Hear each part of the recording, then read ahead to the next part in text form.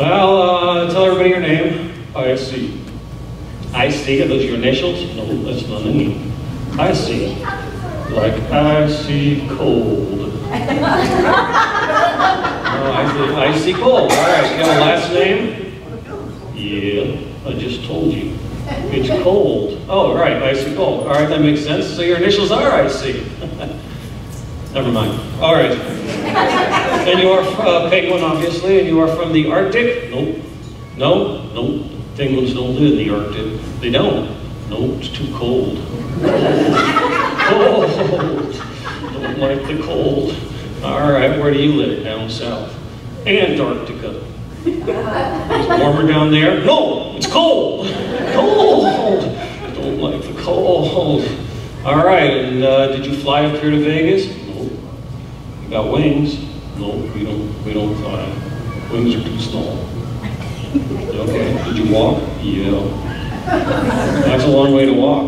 Yeah. I do not have happy feet. Not that kind of penguin, I guess. No happy feet walking in that cold and ice. Yeah, it's cold. Cold. Cold! All right, all right. So uh, today, uh, welcome to church. You. We are learning about uh, forgiveness today. That's, uh, that's uh, when somebody is a mean to you, for example, they do something that hurts your feelings, like calling you a name. Yeah, like calling you a name. Yeah.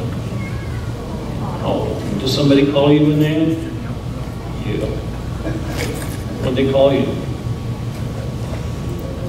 Big Beak. Big Beak? Why would they call you that? Because I have a big beak. I think your beak's just fine, thank you. Well, you're welcome, but uh, hurt you when they called you Big Beak, didn't it? Yeah. Yeah, made me sad and mad. Yeah, all right, we get sad and mad about that, and so what are you going to do about that? Use that big beak. Use the big beak? Yeah, them.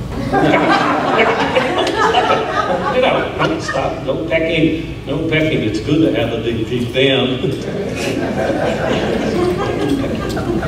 we don't peck people when we get mad at them, or we don't kick them and punch them or push them. We don't do any of that sort of thing. What do you do? Well, if you do all that, it uh, just, you know, makes things worse. You call them a big beak. You don't call them a big either. You tell them a big beak, and then they think uh, they have to call you something, and you have to call them something, and then they call you something because you called them something because they called you something because you called them something because they called you. It goes on forever. You don't want to do that. What do you do? You end it. Uh, end it. You kill them. No killing. Killing is out. No killing. What do you do to end it? Well, to end it, you could try forgiving them.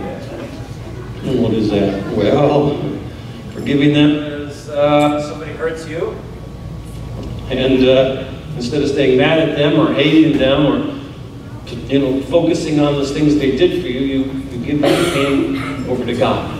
Let Him handle it. Boy, why? Good question. Well, first of all, because God tells us to. And doing anything that God tells us to do is always a good idea. But also, you know when somebody uh, says something nice to you or does something nice for you, you feel all warm inside? Yeah. Yeah, you know how somebody says something mean or does something bad to you or calls you something and it makes you feel cold inside. I don't like the cold. It's cold. Cold, cold, cold, cold, cold, cold, cold, cold. All right, all right. Cold, all right. Cold. Are you done? Yeah. Okay.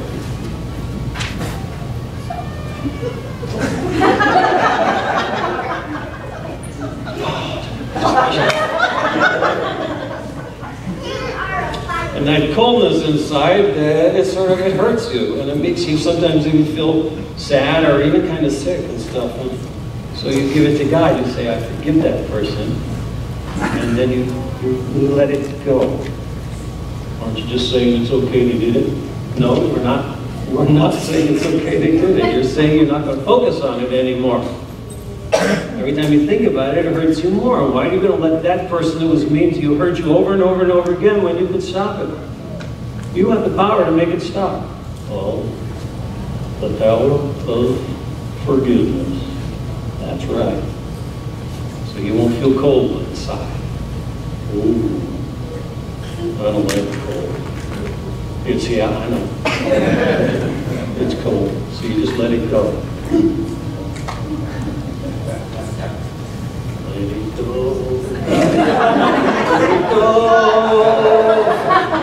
never got to be anyway. All right, enough of that. Let's put you away.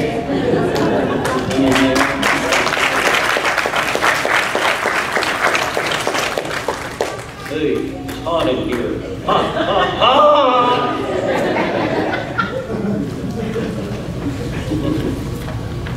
You ever get a splinter?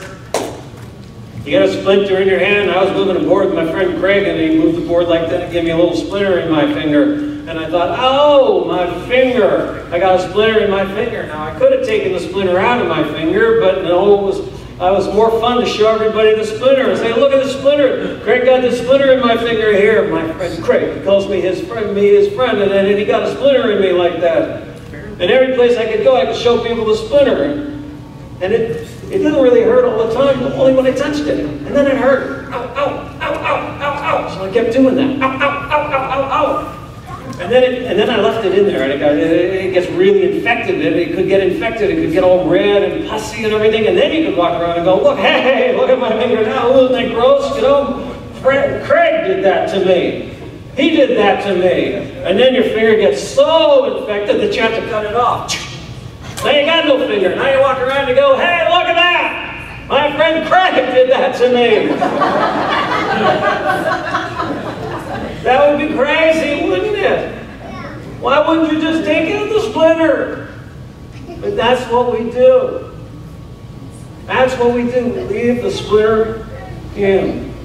So today we're talking about forgiveness. And if there's one thing I want to get straight with you right off the bat, forgiveness isn't for the other person. It's not for the person you're forgiving. It's for you.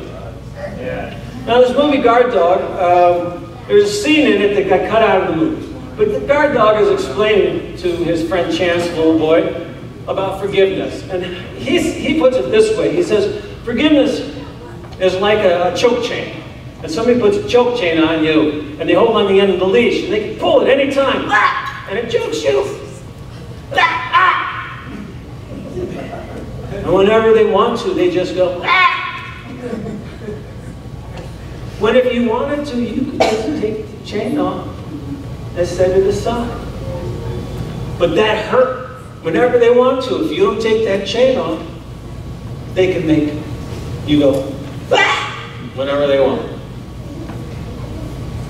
So the forgiveness is not about the other person, not for the other person, it's, it's for you. I'll explain more about that. But the Bible talks about forgiveness 113 times. That's pretty important.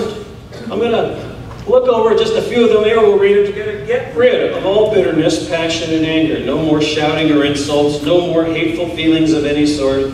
Instead, be kind and tender-hearted to one another. And forgive one another as God has forgiven you through Christ. Says that when you stand praying, if you hold anything against anyone, forgive him, so that your Father in heaven may forgive you your sins. And do not judge others, and God will not judge you. Do not condemn others, and God will not condemn you. And forgive others, and God will forgive you. And finally here, uh, you are the people of God. He loved you and chose you for his own. So then, you must clothe yourselves with compassion, and kindness, and humility, and gentleness, and patience. Be tolerant with one another, and forgive one another. Whenever you have a complaint against somebody, you must forgive one another, just as the Lord has forgiven you. You're catching a pattern here? Why do we forgive? Because God forgave us. Did we deserve it? Not really. Does that person that did this horrible thing to you that you should be forgiving them for, do they deserve it? Probably not. But that's not the point. Forgiveness isn't about deserving. It's about serving. It's about doing what God told us to do. And he takes this pretty seriously. Jesus told us this, for if you forgive men when they sin against you, your heavenly Father will also forgive you. But if you do not forgive men their sins, your Father will not forgive your sins. Whoa. Yeah, that, that's a pretty serious statement there. When we make mistakes, we want forgiveness. So why don't we forgive other people? Well, I'll tell you why, because it's hard. Forgiveness is hard. C.S. Lewis said everybody thinks forgiveness is a great idea until they got somebody that they need to forgive. See, because in our world, you don't get something for nothing. You want something, you pay for it somehow, or you trade for it somehow. You always just an exchange of some kind. You give something, you get something. But with forgiveness, you give it without expecting anything in return. Oh, wait a minute, that's not how the world works, buddy. But that's what we're expected to do. You know, what about me? What about my feelings? Am I supposed to magically conjure up some sort of uh, friendly, magical feelings towards somebody that uh, has hurt me a lot? We're going in and out here, aren't we? We are. You getting that? Yeah. We'll keep working on that. So do I just let this person that hurt me get away with it? The crime is erased? No. Let's talk about what forgiveness isn't. Forgiveness isn't acquittal. Not exoneration. Acquittal means that the person didn't do it. He did it, and you're not going to forget it. You heard the expression, forgive and forget? Ha! Doesn't work that way. You're not going to forget it. If you forgot it, you wouldn't need to forgive it. Because you wouldn't remember it.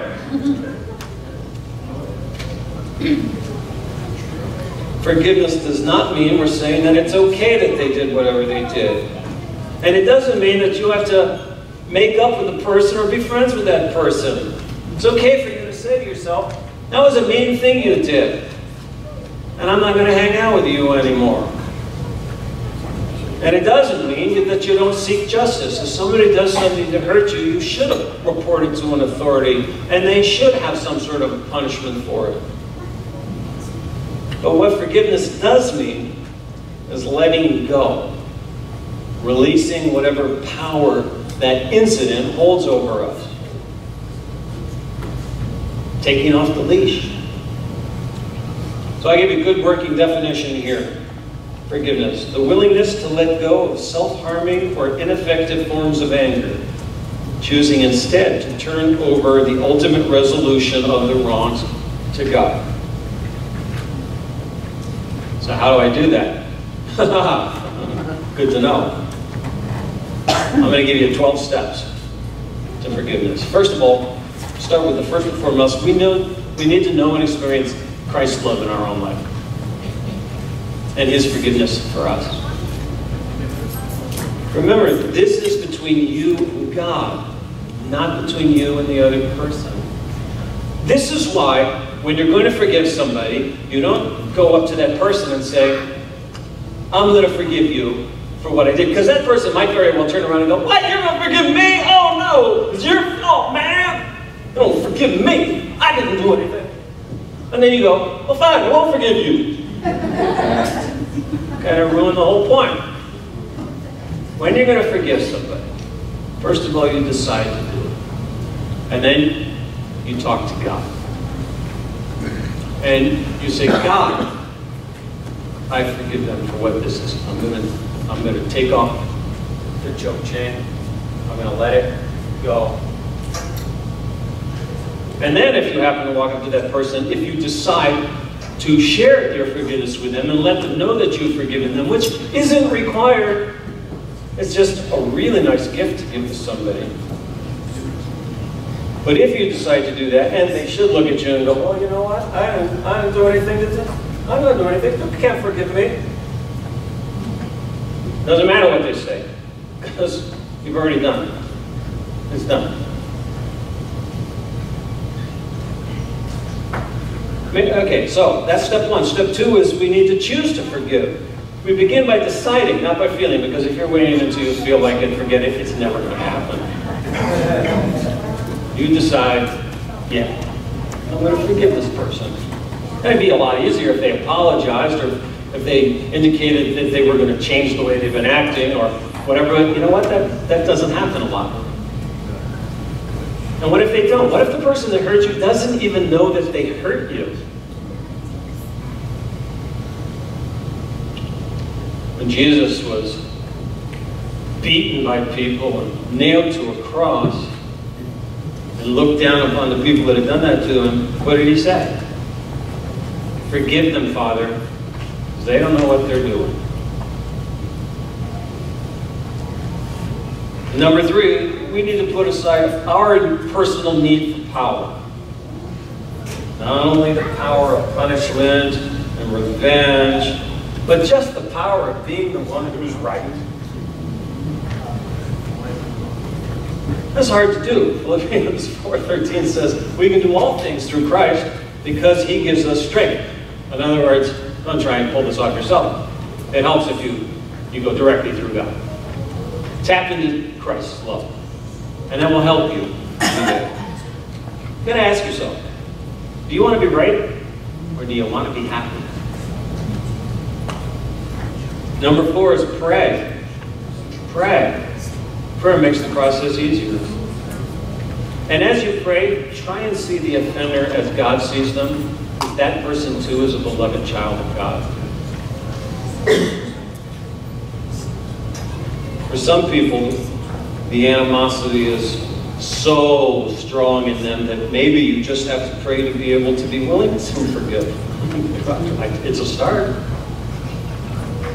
We have a, a thing coming up starting August 5th called 21 Days of Prayer. Heritage Springs, we urge everybody spend 21 days of serious prayer. Find a time of your day when you can sit down and talk to God. Even if it's while you're driving to work, take that time. Turn off the radio, listen to God. Share what you're thinking with Him. Some people mix this with fasting. Some don't. Some use a microphone. I'm going to switch to this mic. How's that? Yeah. Good. All right, number five is admit your own faults. and if we recognize that we mess up a lot, and we're in need of forgiveness, then it's a lot easier to empathize with somebody else. Forgiveness is another way of saying, you know what, I make mistakes in life and I want to be granted that privilege, so I'm granting you that privilege too. Number six, see the bigger picture.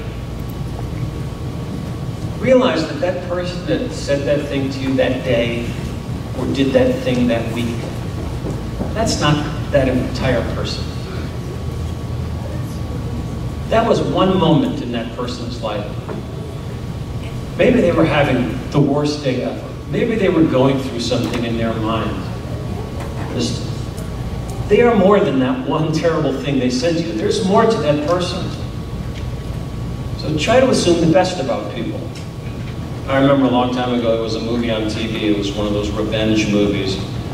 And this guy's wife gets killed in a car accident. Some guy cuts him off and uh, and, they, and, they, crash and, and, the wife dies and this guy goes nuts he goes nuts he's going to stop every bad driver in the world and the way he decides to do it is he buys this big old tow truck and he builds this giant harpoon on the back of it like this and he goes crazy and whenever he sees somebody drive poorly he runs he runs them off the road and crashes them or he takes his huge harpoon and shoots them with it.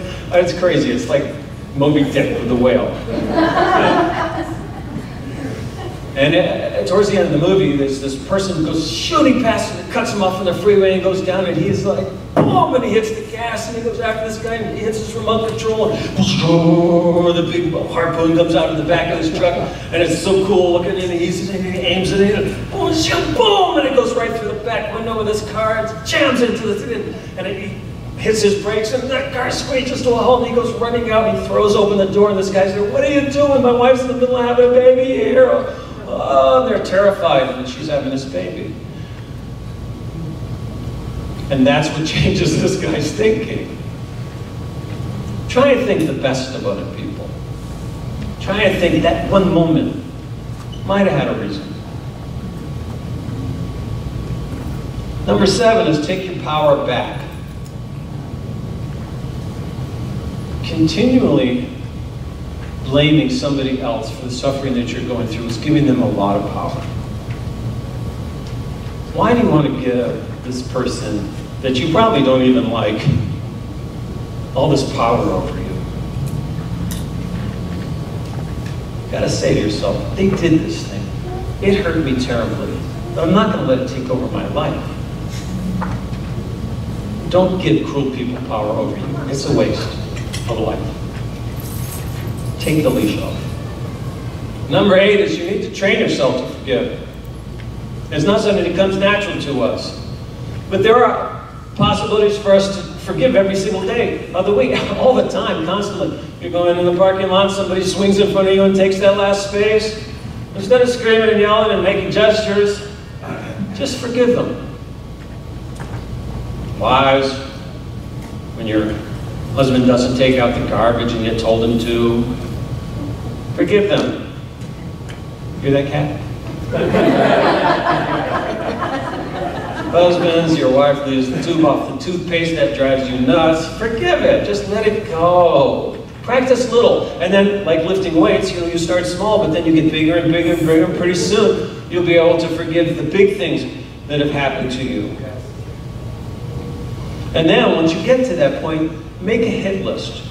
Take all those people that offended you in this life. Big offenses like, all right, when I said hit list, I don't mean like a hit pad.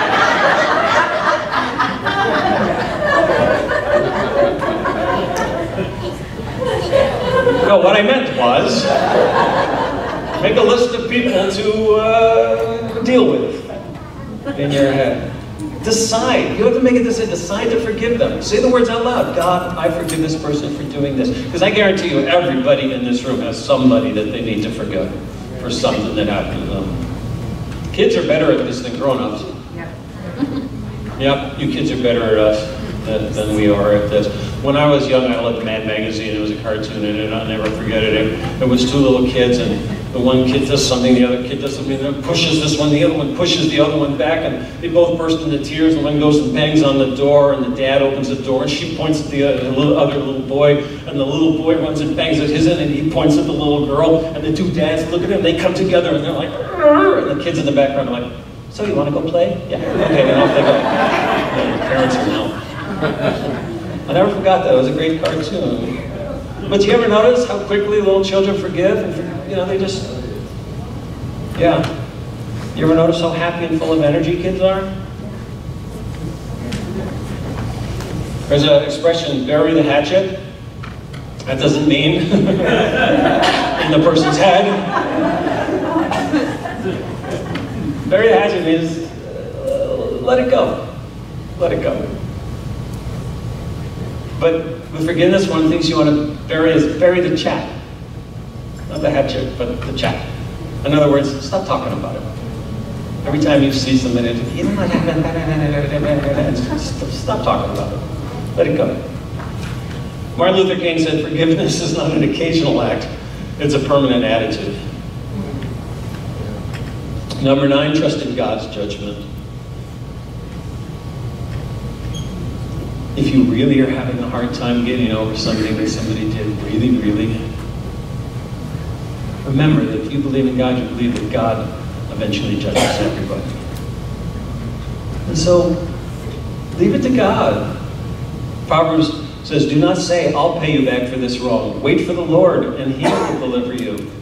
And Paul writes in Romans, he says, don't take revenge, my friends, but leave room for God's wrath.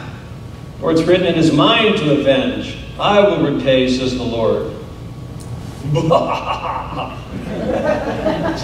Do that in your head. You'll get yours. Because one day, leave it up to God. Confess. Confess. That's number 10. Talk to a friend or a pastor or a counselor. Talk to them about it. Tell them what's going on. This is not to reopen the case and once again reaffirm the offender's guilt. Just to admit that this hurt has taken over way more of your life than it should and you need to deal with it. It's not healthy. It's not about the original injury that you're talking about, it's how this has affected your life because of it. You need a release of these painful feelings. You need support. You need, you need a different perspective, a clearer, uninvolved perspective where you can talk to somebody and they can stand back and say, yes, but maybe, don't know. It's good to get that. Talk to somebody. And then number 11 is ask for help. Ask for help. Go to God. Ask for the ultimate help. Look, you might think forgiveness is beyond you.